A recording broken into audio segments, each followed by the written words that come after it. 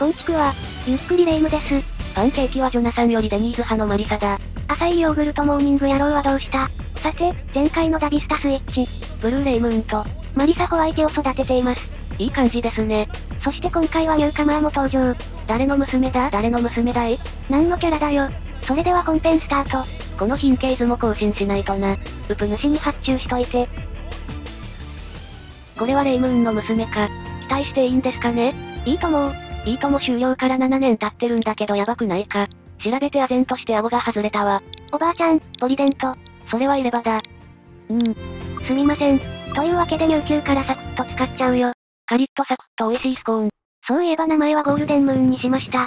僕の情熱は今や流したはずの涙より冷たくなってしまった。どんな人よりもうまく自分のことを偽れる力を持ってしまった。大先輩のブルーレイムーンは北九州記念に使うよ。面倒くさい先輩だな。今回は11頭立て出し小銭稼いでくれないかな。もはや勝ちを望んでなくて草。まだ4歳、チキチだし成長できる。1200メートル、コンディションは良。スタートしました。今回も後方からだな。ほいさっさ、曲がりきって進路は十分あるぞ。この高校しか行けないねと言われたウプシとは大違いだ。黙れ。彼だってその後成長したんだ多分。頭は厳しいがどうか。ウプシの話か伸び足がいい。2番手争いに食い込めているか？なんとか3着ですかね？小銭稼ぐね郵便局に持っていきましょ。あれ結構ワクワクするよな。6番人気だったのね。印は当てになわん。モンドセレ。それ以上はやめて。マリサホワイテはケフェウスステークスを使うぜ。ケフェウスってなんだセントールの友達か？ウィンズの親父みたいな聞き方やめてよ。印はまずまずですな。いい感じですねハンデも軽いな。ここは逃げの手で決めます。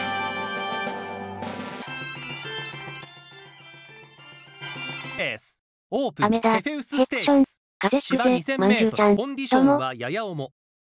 スタートしました。少しばらついたスタートになりました。ここは小気味よく先行ま出た出た。逃げないの6番逃げないねスモーキーカフジバンガードはいマリサゾーン入りました出た出た外のナムラクレセントか月のメンコがかっこいい各自バンガードをかわしてマリサホワイテ。来ました来ましたわ捉えてかわす。よしよしオープン勝ちいただきました。重賞で今度こそね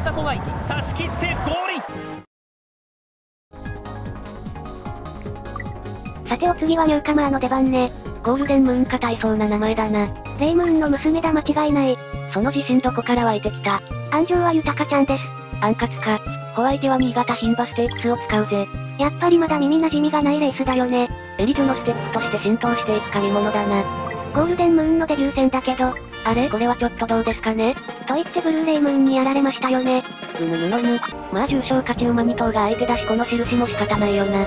さあ、ウイジンでよ2。歳未勝利芝1600メートルコンディションは良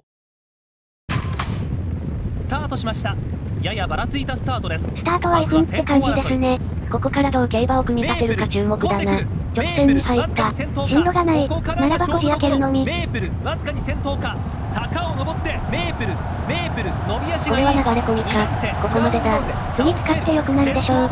強くなるまで帰ってくるな。ゴールデンムーン。え？未勝利くらい軽く突破してこい。未勝利でいいのか？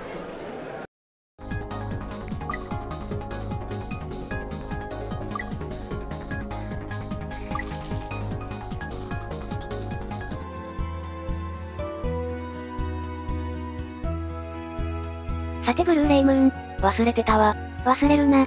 みんなついてこれてるか。高校の数学教師みたいな言い方やめろ。レースはポートアイランドステークスです。港町神戸の象徴だな。神戸は実家帰る時にたまに寄るんだよね。産地下でカレー食うのが定番化しているぞ。本日のローカルネタは以上になります。ありがとうございました。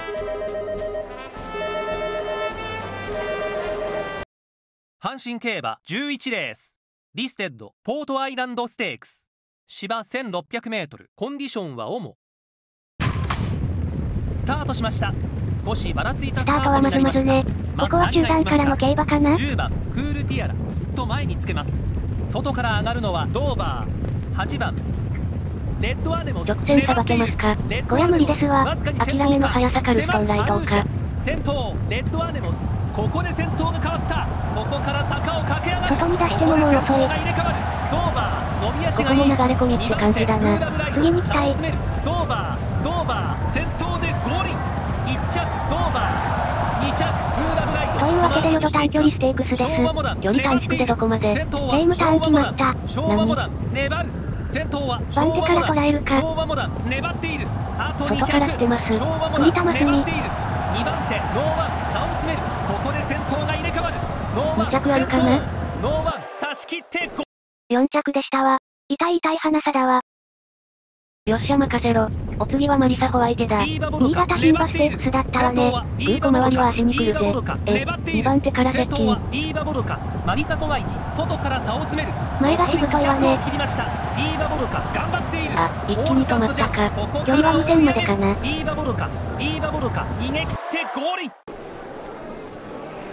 怪我と思ったけどなんともないので使うぜ。さすがマリサホ相手だ。なんともないぜ。それギガトンな。レースは愛知杯にしました。時期が変わりすぎて混乱する重賞ベスト3ね。仕上げもバッチリです。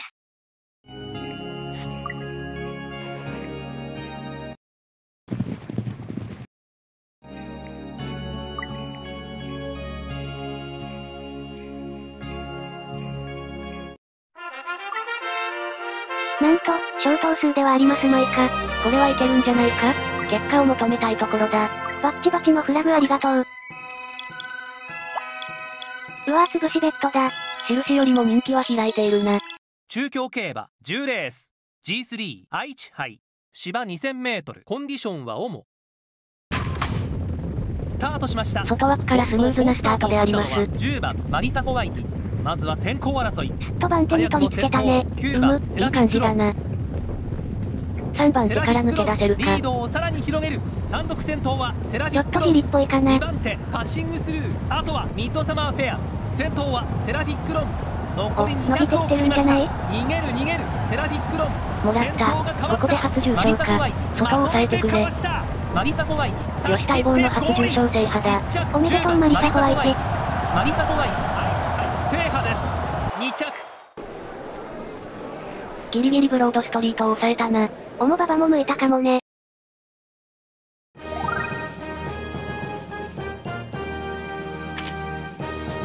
インジェクション先輩も喜んでるな。さすが豊ちゃんよくやってくれたぜ。というわけで今回はここまでです。マリサもブルーレイムーンもキャリアの晩年に差し掛かってきたな。円熟味を増したに頭に期待です。チャンネル登録もよろしくお願いいたします。それでは皆様、ご視聴ありがとうございました。